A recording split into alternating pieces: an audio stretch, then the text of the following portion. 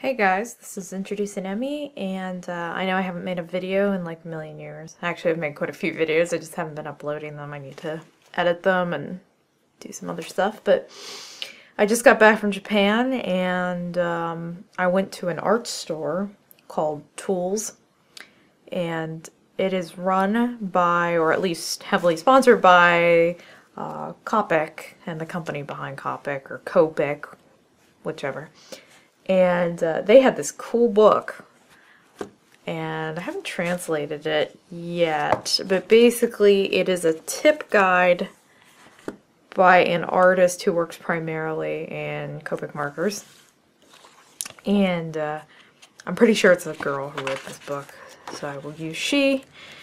And uh, she just shows uh, a lot of different techniques that uh, I just really never knew about uh, when using Copic. She uses her colorless blender like 24-7 and I never used my colorless blender when I used Copic. She also uh, shows uh, correct strokes, you know, circular as opposed to jagged. Uh, shows lots of different ways you can make patterns, how to fill in uh, areas properly and whatnot. And also, uh, she recolors this same image of this uh, the same line art of this girl character of hers uh, over and over, showing like different methods and color combinations and things like that. And I just found that to be really clever and interesting and stuff. I haven't really translated it, but to be fair, there's not a lot of text. So uh, today, let me find my gloves, I'm going to be coloring this image of Rose. It's actually just a simple inked draw, a digitally inked drawing I did um, for my banner when Hiveworks took over uh, Trying Human, hosting Trying Human. They didn't take over. They weren't like, okay, now we're going to push some aliens in it and the comic gets good. Anyway, one of the things that, uh, real quick, I should mention, this is not a heat-treated uh, image, so this may bleed. I have never tried traditionally coloring an image off of this printer, and all inks are different. So this is going to be experimental all around. But uh, yeah, so one of the things I thought was interesting is she puts her colorless blender down first in a lot of cases as to not soak up um, color into the blender itself. And I thought, well, that's clever.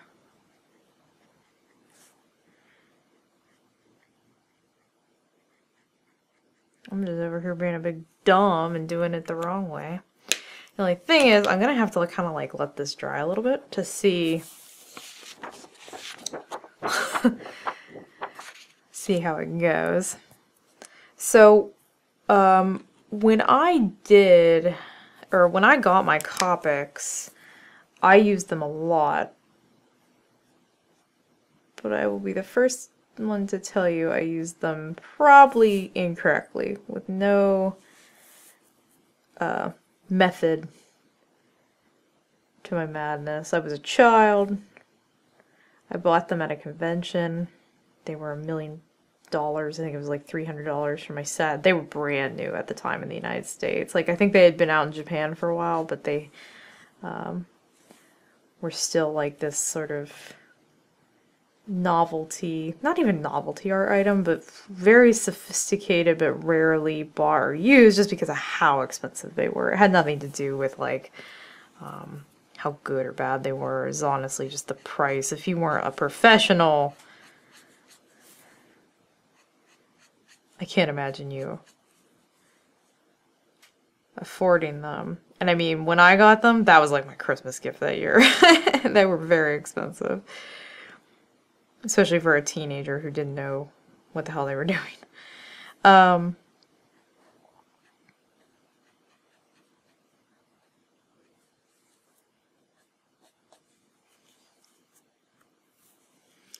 so uh, also, I should mention that when I got my Copics, I used them more just to screw around and try to figure out things, though I was trying to seriously produce art with them. But by the time I got into school, that was kind of Dunsies. I think I still had them in college, but I very rarely used them just because I was moving on to primarily digital art because at the time I could do things a lot quicker in digital. And I have to admit, I was thinking about it the other day in the shower for some reason, that uh, when it comes to art, I am not a. Uh, I'm not the kind of person that can sit down and work on one piece for like 80 hours. I like volume. I mean, don't get me wrong, I like quality, but I like a lot of work to look at through. And I think that sort of fits why I went into comics. I don't want the fat end. Um,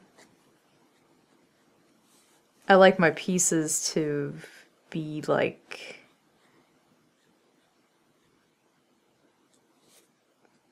part of a larger experience. I guess. That sounds sort of haughty, but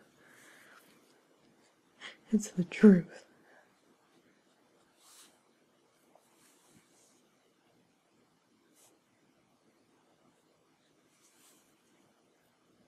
I am surprised this printer paper is not bleeding. The the black that is kind of in this, these are very old Copics of mine and they've been very badly treated over the years. I think I've had these for 10, 12 years now. I think I got them when I was, oh my god, maybe 14, 15. So they'd be even older. They'd be almost like 15 years old now. So anyway, um, they were slightly abused, meaning I would use them with inks, black inks that would run, and so they're a little like dirty.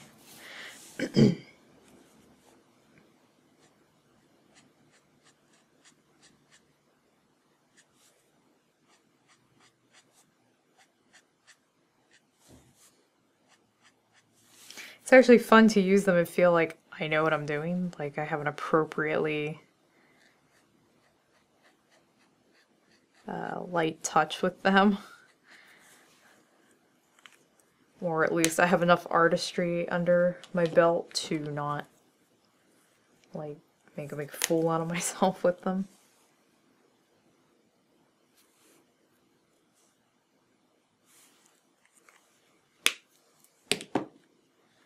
I would like a an even lighter color, but to be fair, I actually don't have a ton of colors anymore.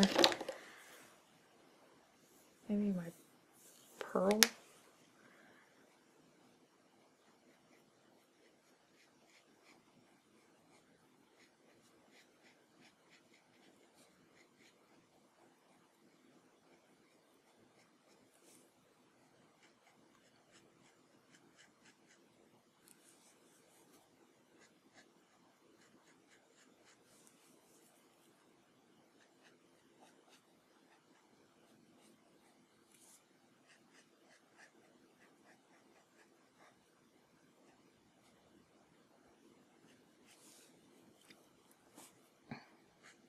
Yeah, this is the best. Like I said, I actually don't have many Copics anymore. They've really uh, changed in quality and price.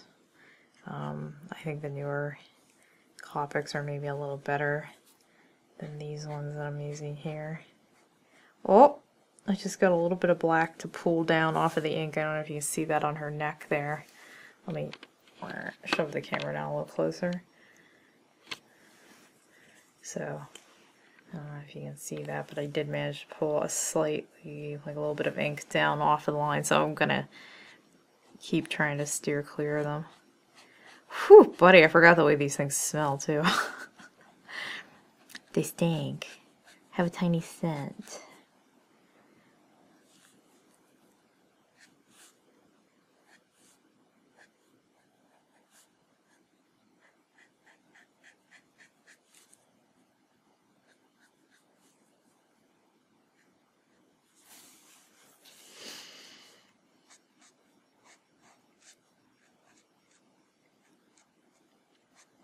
Now, if you've never used uh, Copics before, I should mention that these do bleed through. Um, and if you have, a, ooh, that looks ghostly. It looks like a ghost, like putting their hand on the window, you know. But anyway, um, I should mention that if you're doing these in a sketchbook, there's a good chance these are going to bleed down onto the next page. They are very wet markers.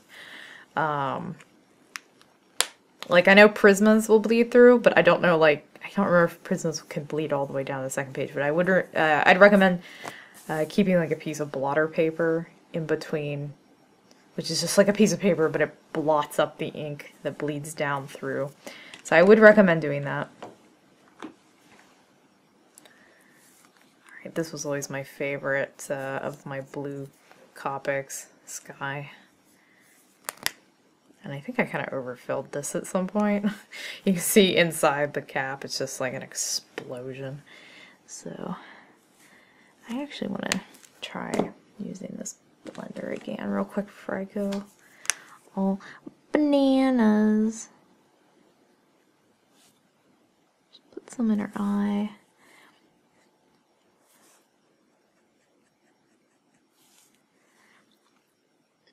One of the techniques I thought was kind of cool in the book was that she shows like ways that you can actually remove Copic. I mean, it doesn't go away completely, but uh,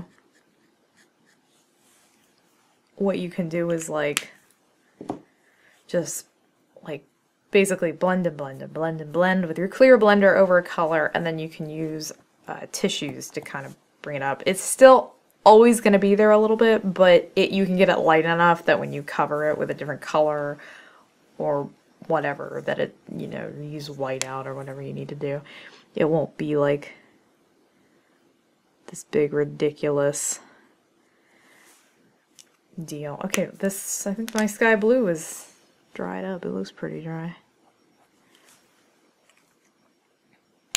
Dare I fill this with isopropyl alcohol. I don't know if that's really the issue here.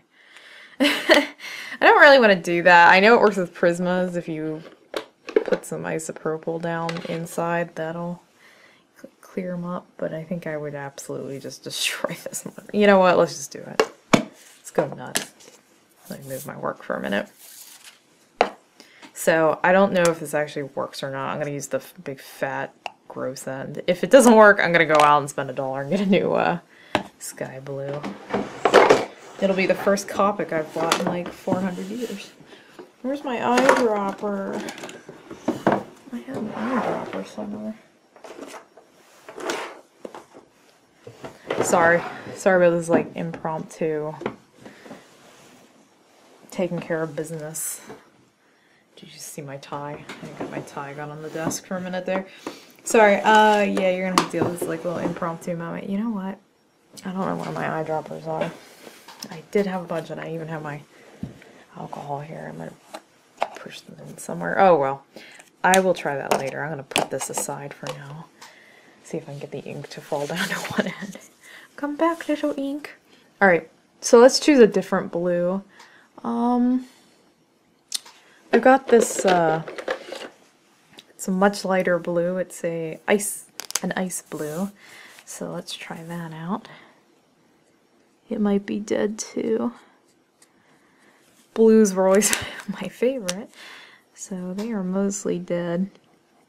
Yeah, that's dead. Man, I just went through and tested all these markers not long ago so that I wasn't wasting time with um, markers with no color. Okay, let's try this uh, lapis lazuli. One of these blues is going to have some color in it. Come on. Don't be a big whiny baby. Come on. Well, you're forcing me to use a Prisma. You've backed me into a corner. Uh, this is a periwinkle.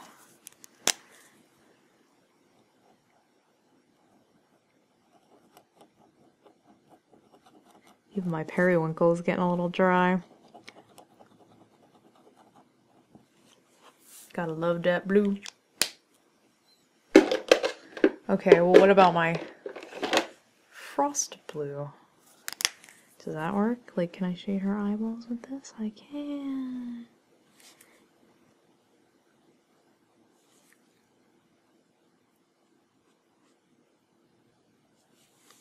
I think I'm going to use the frost blue for Hue's hand as well.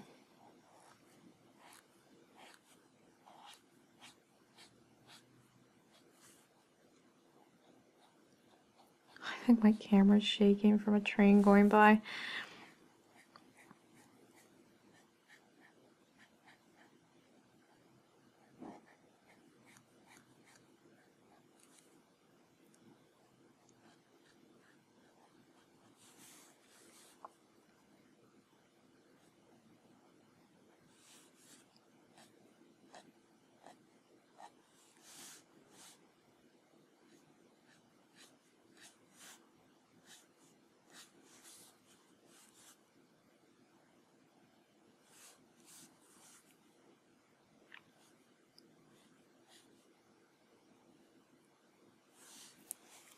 Is really fun. I'm really enjoying this. I uh, might be getting back into comics a little bit. And I realized that I used to have this red. I think it was like a rust red or something. But it was my favorite red. And it was sort of the color that I ended up settling on for Rose, uh, for Rose's hair. Uh, well, like the digital version of that color. And I went to get it today out of my collection of Copics and I didn't have it. Mm-hmm. Not happy.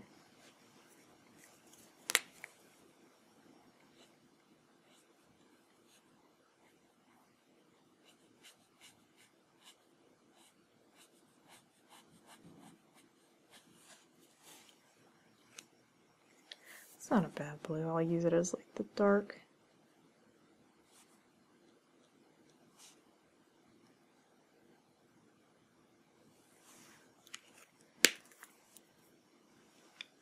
Yeah, these aren't like the cleanest colors, but like I said, for some reason I have like 4,000 greens, but I have like two blues and like some other like almost nothing colors. So at least I'll be able to color her nightgown the right color. She has sort of like this sea bluish um, nightgown. Somewhere between like a mint green and aqua green and a turquoise. I don't know. Nobody ever gets the color right when they. Uh, I shouldn't say it. Some people get it right, but it's like somewhere between like these three colors, something like that. That this one's probably the closest if it was a little darker, but I don't have any that's darker, so we're gonna have to kind of like make it. Um, first thing I'm gonna do is I'm gonna. I think I'm gonna use this pale lavender to shade the dress to try to use like one of these uh, or her nightgown to use one of these techniques that's in the book where she she'll shade with like a light uh, color whether it be a purple or or whatever. And then she'll go back over with the the like flat color. It's a little opposite the way I normally work. I usually lay down my flats first and then I come back in, well, when I work digitally.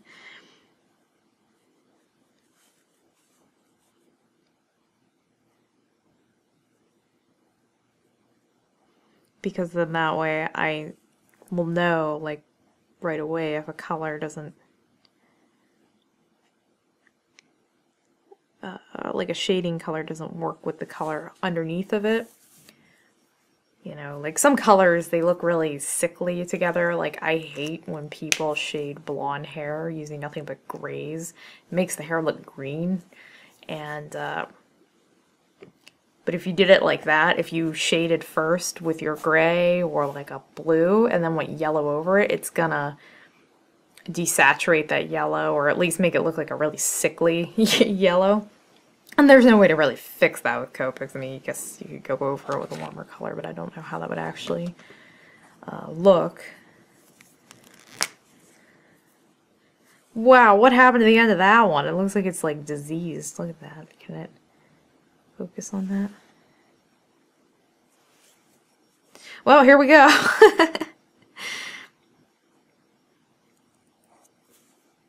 Dead new before I even started. Let's try uh, this. What color is this? Oops. Um, Nile Blue. It's a little darker than I would like, but...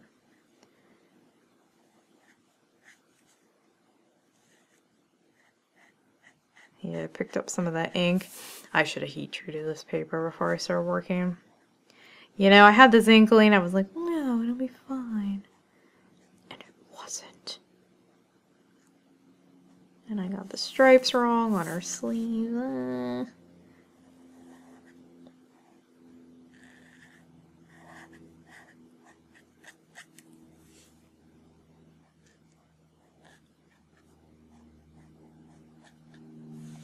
I think that lavender I used to shade this was almost too light.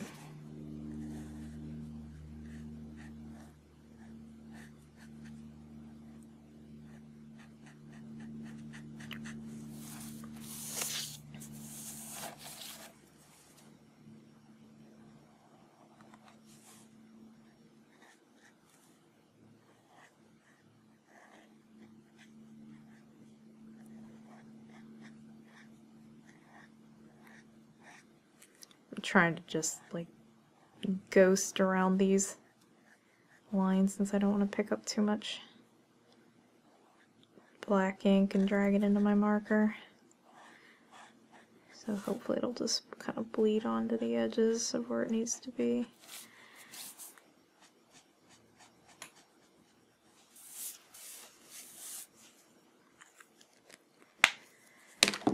Ah, let's give that a minute dry a little. It dries pretty instantaneously, but just to just to be a smarm, I would like it to go a little darker.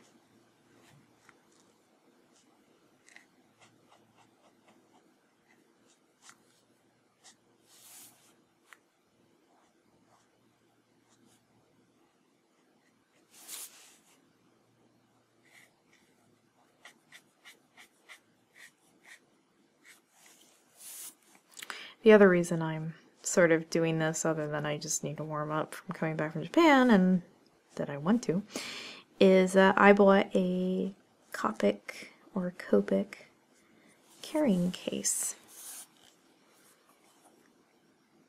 And uh, can hold a decent amount, like more than I think you would need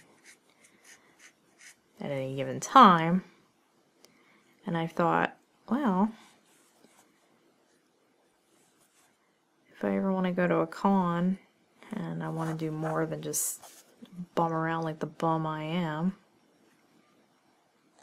I could do commissions and actually do them in color. Because normally I I mean I can sketch something or do something in ink but beyond that it's not gonna be complete. So me. So I really gosh I really wish that her eyes were like bam, you know, like really pretty and bright and saturated, but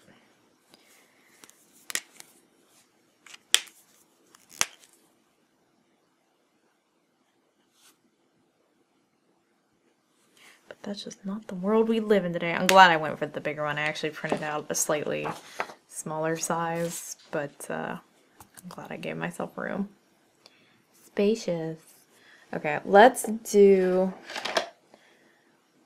I think we're gonna go with a Scarlet Lake. That might be a little bright.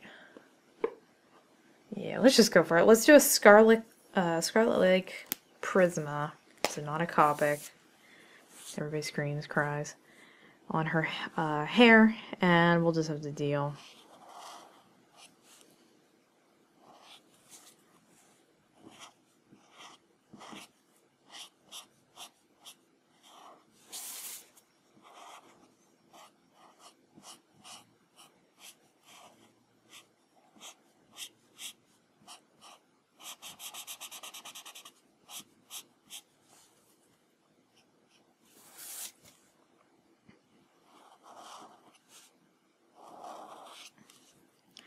Just for the sake of finishing the image. I have a feeling that if I would have just been like, well, that's all the Copic colors I have, and that's all I'm gonna do, um, people would not be too pleased. So, I'm not getting the kind of coverage I would like. So I will just add like pseudo texture in.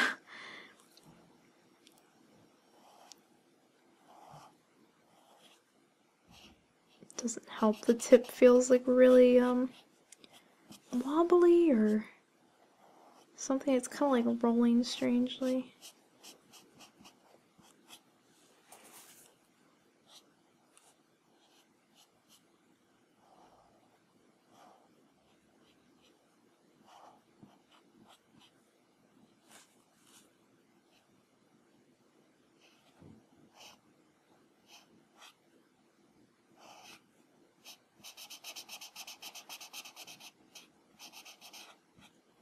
Might even be a little dry. Some of these markers are kind of getting up there. As you probably guessed by the whole entire video of me going, oh, this one's dry. This one's dry. I'm not in the market to actually spend any money on markers right now, so Hell, I'm just not in the market to like spend money at all. So like, we're starving this month, I guess.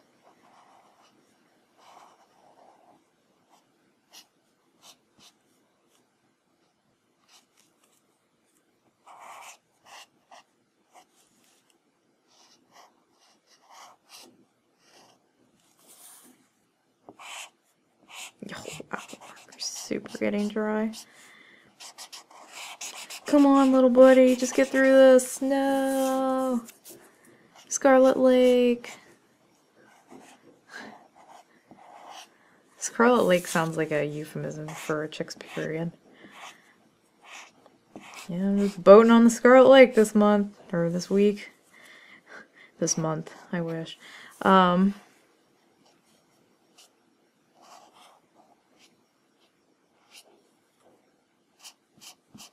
Yeah, come on, come on. I think I'm also wiggling the camera some. If we all just clap our hands together.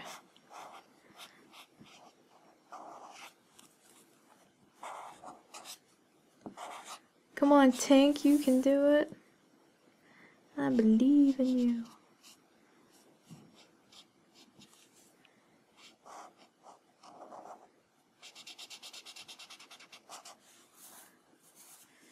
Yeah, like this all down in here. Bullshit. it's not good. It ain't cute.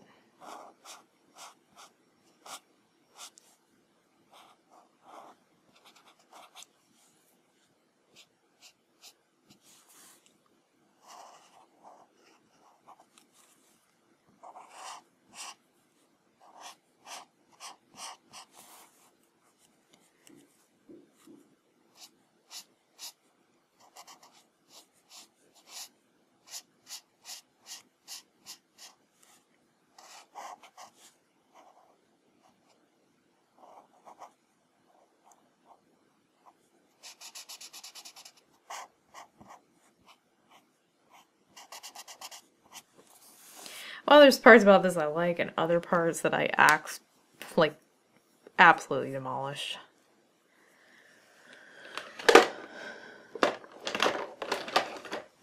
So this is a Copic. Let's uh, try to shade some of this.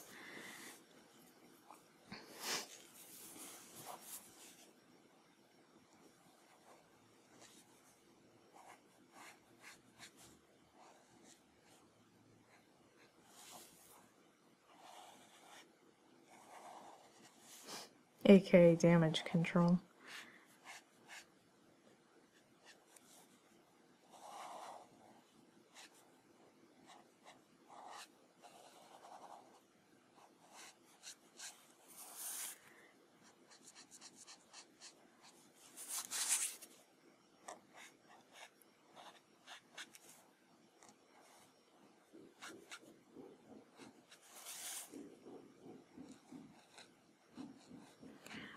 Sorry about any hammering in the background. I know I say this like every video, but I do live in like a very noisy complex. At least right now, nobody's screaming like these people across the way. Their dog has terrible separation anxiety, and every day they leave for work. It's just hours and hours of screaming until the dog finally runs out of oxygen and passes out.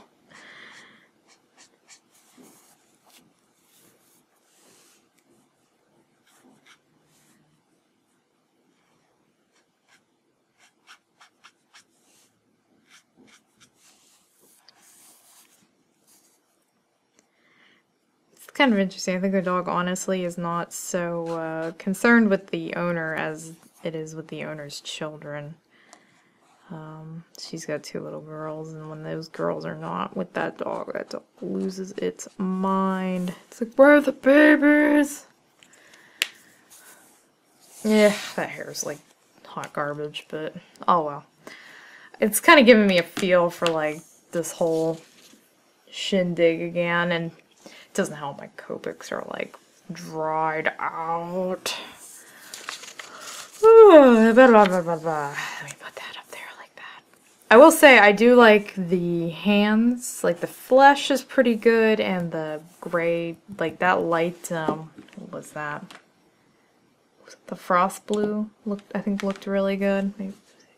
Yeah, it was the frost blue. I think that was going places I liked. So try to get my head shadow out of the way, but uh, it didn't help that I didn't have very good bread. I didn't really plant my shadows on my hair. Don't look at that. But I think the rest of it, um, it's interesting. Do you hear my dog? She's so sick of me. Everybody's so sick of me. Alright, I think that's going to be it for now. I need to record some other stuff, but I will see you guys later. Bye!